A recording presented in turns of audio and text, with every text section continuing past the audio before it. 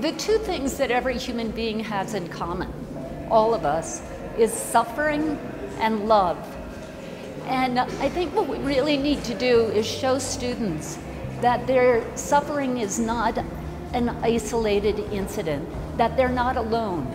So for me, for instance, my father was assassinated, my father was killed, my uncle was killed. And so for many years, the pain of that was so strong in my family.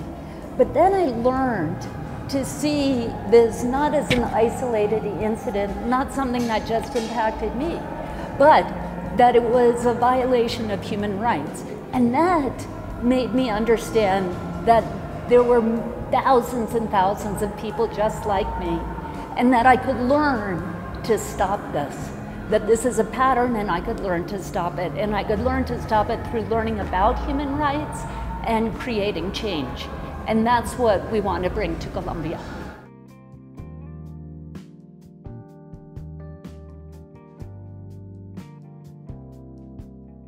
Everybody is concerned about education in the post-conflict arena.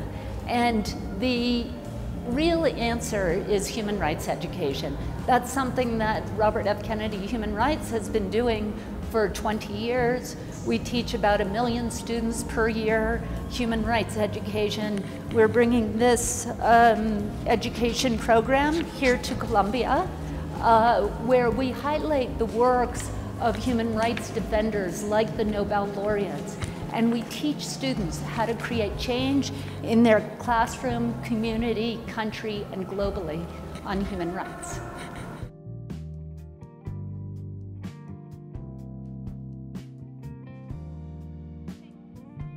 Well, I think that every country on earth needs to change their education systems to make it more sensitized to the empowerment of women and um, and uh, to help women be more, um, uh, have more availability of schools, and particularly in areas of technology, of mathematics, of science.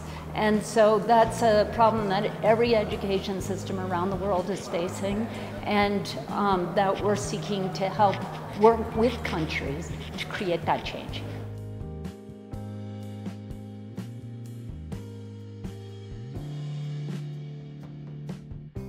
We need to not just teach children reading and writing and arithmetic.